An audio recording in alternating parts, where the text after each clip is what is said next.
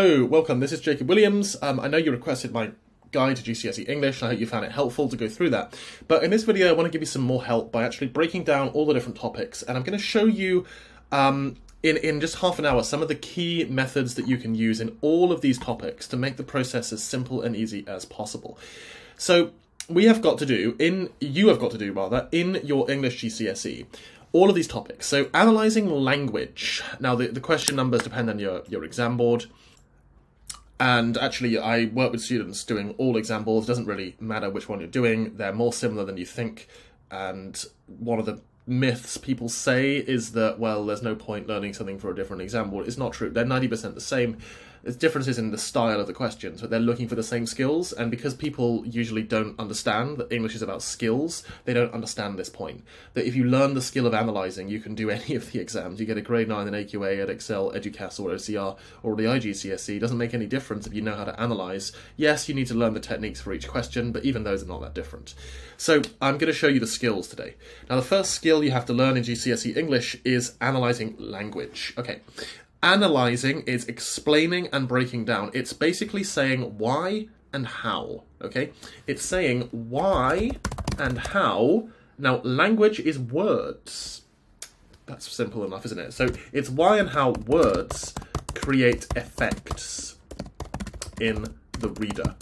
So to analyze language, this is something you won't learn anywhere else, as far as I know. What you need to do to do this effectively is to actually explain why the writer chose one word when they could have used others. So you need a quote, but then you you go into one word. So what you do is you zoom in to one word from the quote you chose, and then you explain in fact you you would and you wouldn't do this in your answer but in your plan or do it while you're practicing and eventually it becomes automatic and you don't need to do it anymore. But you can actually make a list of other words they could have used instead. And then you explain why the writer chose the word they did instead of the other words. Why did the writer say shuddering when they could have said shaking or shivering, for example, right? Shuddering is onomatopoeia. It sounds like the thing you're doing of shuddering. So is that why? To make that more vivid sensory image that engages, gauges your sense of feeling as well as what you see, for example. Okay, so that's what we have to do when we're analyzing language. Now, next thing is analyzing structure. So what is structure? Well, it isn't language. What is it? Structure is, and again, it's analyzing, which means why and how. It's why and how the order of events in the text affects the reader. Okay, what does that mean? Well, it means that if the stuff that happens at the end of the text was moved to the beginning, your reaction would have been different. So, during the time that you're reading a text, you learn new things, your thoughts and feelings change. You start out feeling one way about a character, about the plot in the first part, in the middle, you feel different, in the end, you feel different again. Structure is essentially about this the beginning, the middle, and the end. And guess what? They go in that order. Start with the beginning, then the middle, then the end, write about them in that order too. And you say, how do we feel in the beginning? How do we feel in the middle? How do we feel in the end? You give a reason, and that's all that structure is. And following that method makes it very easy and simple. Number three, evaluating views of texts. Now, I'm going to tell you a method here that we can use for most types of question, and you actually use it in, I'm going to put all the ones where we use this method in blue, okay? We use it in evaluating, we use it in analyzing structure, we use it in analyzing language, we also use it when we are doing literature. Um, I'm going to leave poetry for a second, but we use it in these. Shakespeare, which might be, for example, Macbeth, or uh, sorry, or Romeo and Juliet. We use it in the 19th century novel, which might be A Christmas Carol, or Jekyll and Hyde. And we use it in the modern text, which might be An Inspector Calls, or possibly any other text like Blood Brothers or Animal Farm or Lord of the Flies, but most of you do and Inspector Calls. So we use it in most areas of literature. Now, the method is called Peter. Okay, so let me get this thing completely clear for you.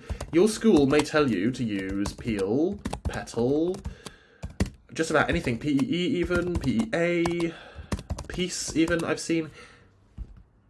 Pestle is another one.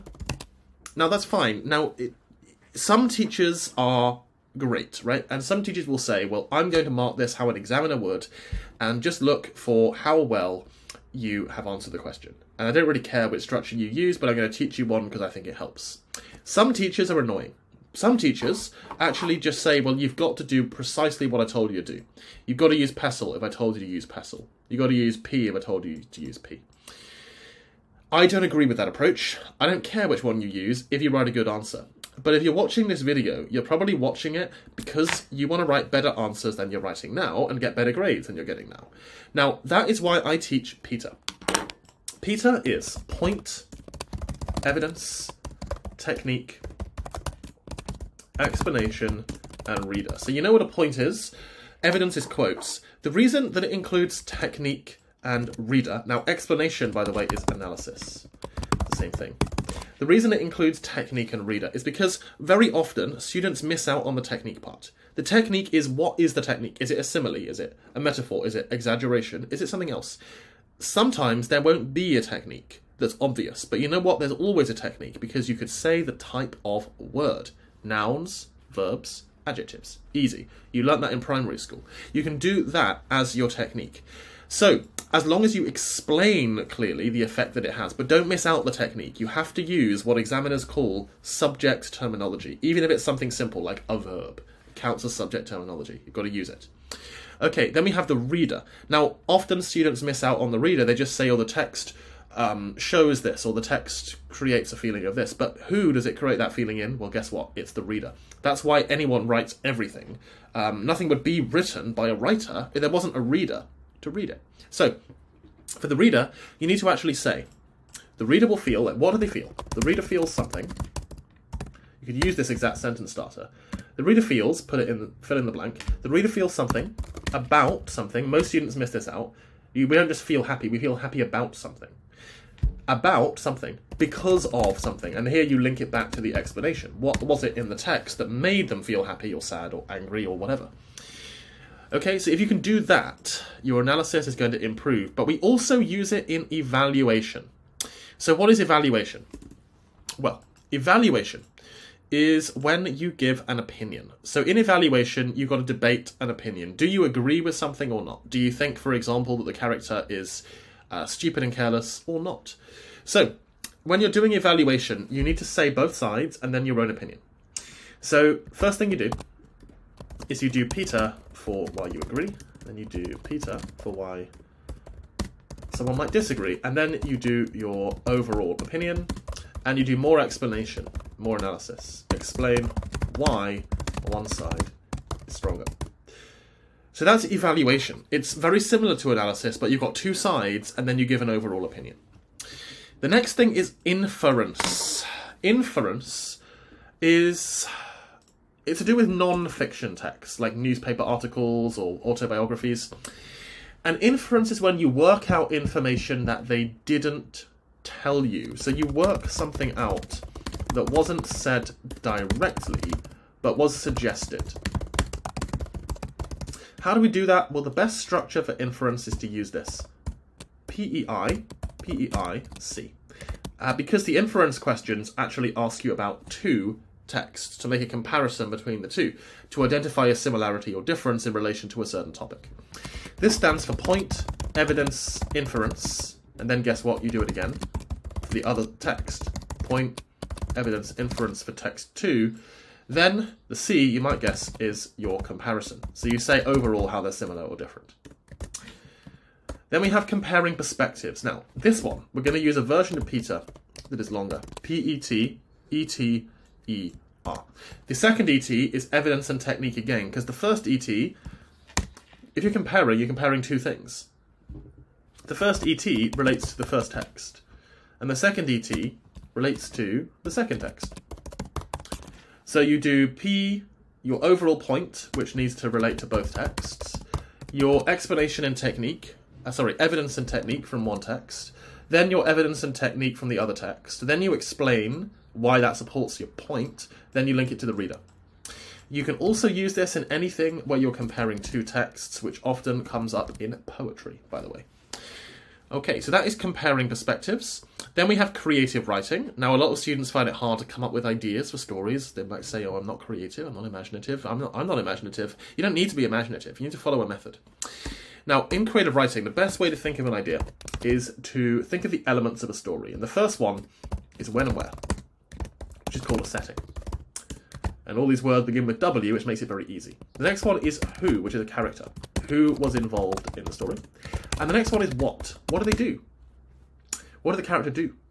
And the character's got to do something in the story, and usually they have some kind of problem that they've got to solve, right? A plot is usually a problem which might also have a solution, but not always. There could be a bad ending and they don't solve the problem, but they're, they're going to try. And that's what a plot is about. And there's probably going to be another character, not always, but often there's an antagonist, you know, a bad person in the story too, who's causing the problem. There doesn't have to be. Um, you can write a great story with one character or two. More than two is pushing it because you don't have much time. And description and, and using techniques is more important than what actually happens in the story. I, I would really advise you, make your story boring. In the sense that you should make it about something that happens in everyday life because you know about everyday life. You can think of ideas about everyday life, about school, relationships, homework, parents, stuff you actually know about from normal life. Don't write about fantasy or science fiction because you guess what you have to do? Explain backstory that no one really wants to read about and doesn't help you get marks. So you do the what, then you do the why, which is like the motivation of why it happened, but it's also why it matters, which is the last part of your story, by the way, which is called the resolution, which might be a solution solution from chemistry is when you dissolve something, right? Um, you know, dissolving your problem. Think about it that way. But a resolution doesn't necessarily do that. A resolution just means that it's an ending. It ends somehow, but you don't necessarily um, solve the problem. You might do, or you might not. Okay, and then finally, after the why, um, well, actually, after the why, you are pretty much done because you've got everything you need. You've got a setting, you've got a character, you've got a plot, and you've got a resolution. Let's break this down into, into a few steps, what you actually do in your creative writing. The first thing that happens is you have background, and you can divide it into five sections. You need to write about six paragraphs, so one of these are going to be longer than the others. And I probably would make this the, the most important part. So the second part is the inciting incident, which is like a trigger. It's the first action that leads to the stuff in the story actually happening. Uh, like if you notice a haunted house and then you go to explore it, that's your inciting incident. Or you realize you lost your homework, that's your inciting incident. Okay, step three rising action. Things are getting worse. So you're getting more and more nervous that your teacher is going to find out you've not done your homework. And step four is the climax. It's the big crisis or problem. That's when your teacher finds out and reacts to you, however they're going to react. And then step five is the resolution, which is the ending, right? How does it turn out? And most students kind of miss out this part, but it's the why in our story formula. If you don't have a why, the reader's left feeling unsatisfied. They're left feeling, well, that okay, that was a story, something happened, but I don't know why I really care about it though. So you need a resolution to show the reader how it turned out and how you feel and why they should care at the end of it all. So that's creative writing. It's a very simple formula if you break it down. Okay, next we have persuasive writing. So here you're trying to give your opinion on a statement and say why other people should agree with you. So persuasive writing. I'm going to say here there are three things you have to do, and I call them the rhetorical triangle. Rhetorical doesn't mean a question. You see, it's called a rhetorical question, which you probably heard of, right? A question where you, you know the answer, but you're asking it for effect to make someone think. It's called a rhetorical question because it is rhetorical. Many things can be rhetorical. Rhetorical means persuasive. It's a persuasive question. The rhetorical triangle, therefore, is guess what? A persuasive triangle. Like a triangle, it has three parts, and they're equally important. What are the three parts? Okay, the three parts are yourself, so why they should listen to you. That's called ethos. And it's to do with why they should trust you. And you could, for example, use your own personal experience, or you can pretend to be an expert. That's fine. You can lie. Yeah, you can make stuff up. It's not a real um, article, you know. It's you can make stuff up. So pretend to be an expert if you want. Ethos. Why should we even listen to you? That's the first question the audience have got in mind when you're trying to persuade them. Why should I listen to what you have to say? Why should I even pay attention? And if you can't do that, they're not going to listen to you and, and the rest of it doesn't matter. The second thing you've got to do is use log logic, okay? Log logic, called logos. Which is like, why does it make sense? Okay, I'm listening, but does it make sense? So you could use facts, statistics, just logical reasoning to persuade them. The final part is pathos. The word pathetic um, originally did not mean being a loser. Pathetic meant being emotional. Uh, like sympathetic means you feel someone else's emotions. So pathos is to do with emotion. And the reader might think, okay, it makes sense, but do I really care that much? So you need to use pathos to make them care.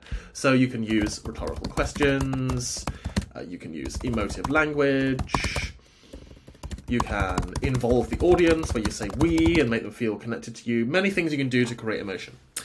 And if you use these in the right way, so generally, but it's not like you only do ethos at the start and then only logos. It's more like the first paragraph is going to be 50, 60% ethos, and then the middle section is going to be mostly logos, and the last section is 50 or 60% emotion.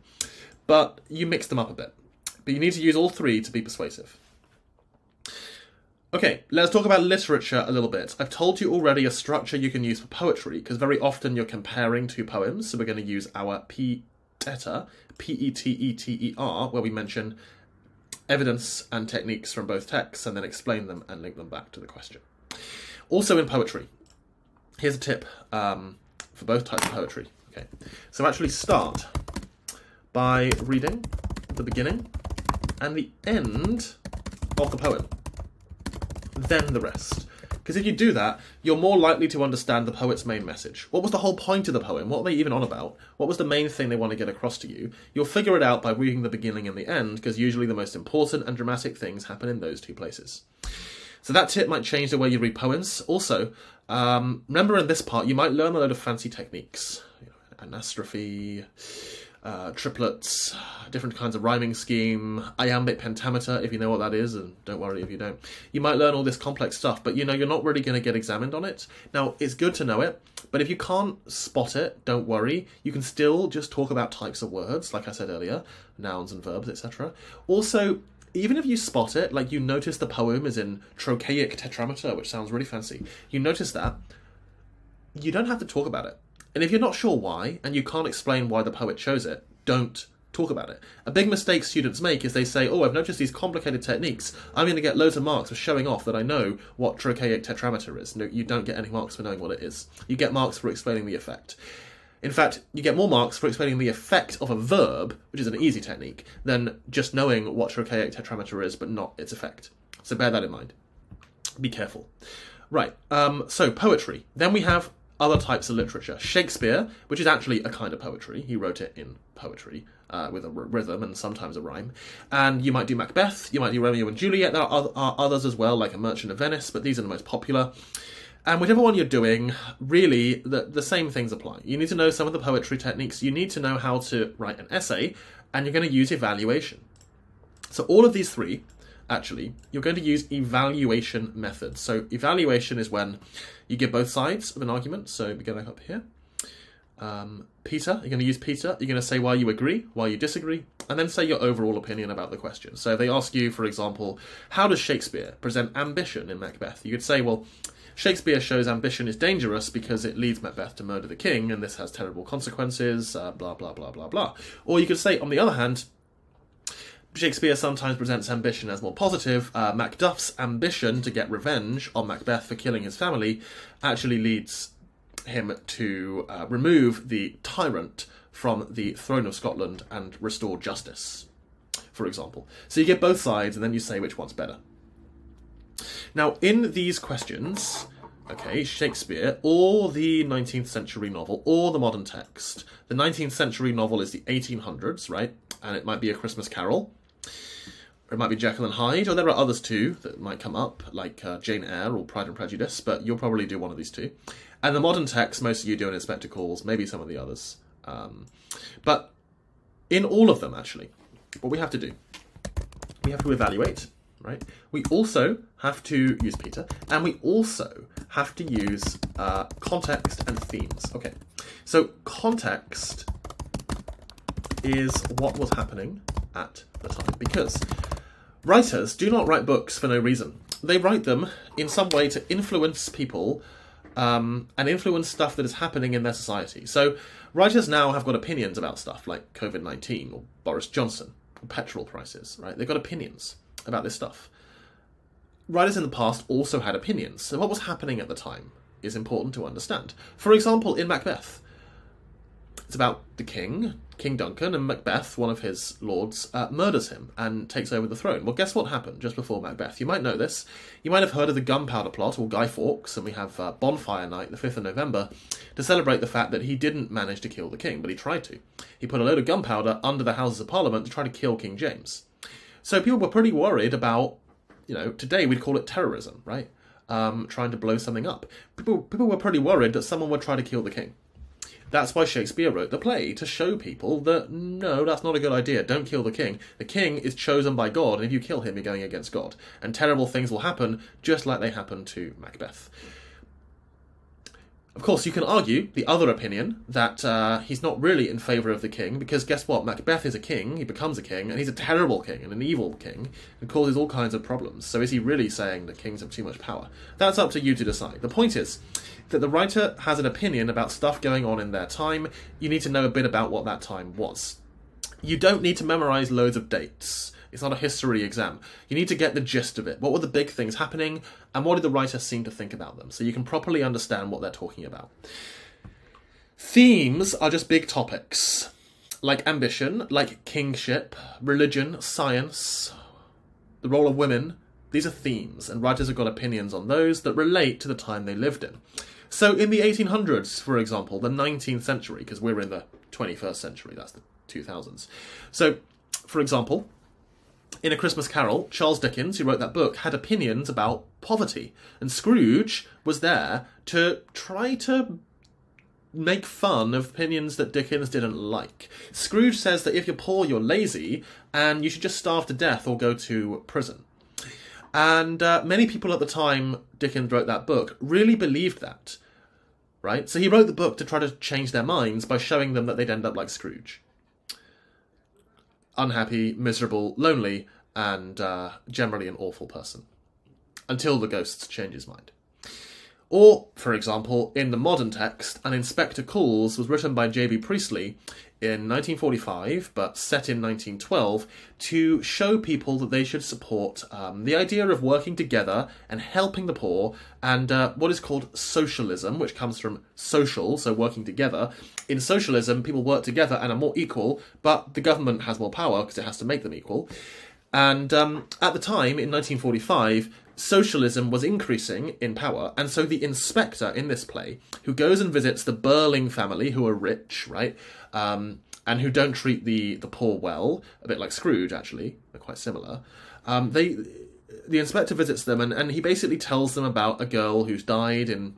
Um, and he used to work. She used to work for Mr. Birling, and how they did things that eventually caused her death because they were so much more rich and powerful and didn't care about her. And so he wrote that book to show rich people that they had to change their attitudes, be more compassionate, a bit like Dickens wrote his Christmas Carol. Because Priestley had opinions about stuff that was happening, and he, he thought the rise of socialism and working together was a good thing, and he should encourage it more. So, hopefully, right, this has been useful to understand that the most important techniques and methods we have to use for each of these questions. Now, um, if you want any more further advice, I do have a tuition course, and I'm going to um, put the link in the uh, email and in the description of this video. So you can click underneath, go to um, jpwtutoring.com slash sign up to join the course. And we do have a three month guarantee, uh, which means that if your son or daughter joins the course, but you don't see any improvement in three months. Now they have to do the work, they have to actually come to all the lessons, do all the homework, and this has never happened that someone has done that and not improved. But if you don't see any improvement after those three months and they do all those things, we give you your money back. So um, it's almost risk free to join. Anyway, the link is going to be below the video and in the um, email and the description of the video too. So look out for that and sign up when you're ready and you can you can call as well. I'll put a number there you can call if you've got any questions. And hopefully, I'll see you soon anyway, because I'm going to send you another video um, going into a bit more detail about analysing language, because it's actually the most important topic in English. So I'll see you soon. And any questions, you can reply to this email or call. And um, yeah, hope it was helpful. And uh, see you soon.